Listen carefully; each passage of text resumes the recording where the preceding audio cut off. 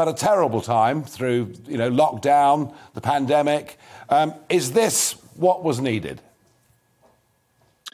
Well, I'm obviously delighted that the price of a pint of beer is coming down. So that is fantastic news.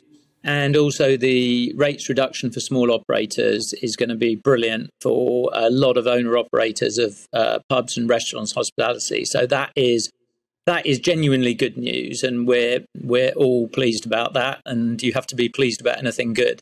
Um, on the other hand, you know what wasn't in the budget but announced prior the uh, tax on jobs, the national insurance increase, which will predominantly hit young people, young workers, the younger workforce to pay for the elderly, is, I think, the single worst and most regressive tax hike we've had for years. You know, that's not been included in the budget, probably won't be talked about tomorrow. But uh, a few off a pint of beer will do nothing to address you know what is a straight tax on young people's jobs. And you know that i think is a real disappointment that that wasn't uh, looked at again because it's uh, totally regressive and hits all the wrong people. You don't charge the young to uh, pay for elderly care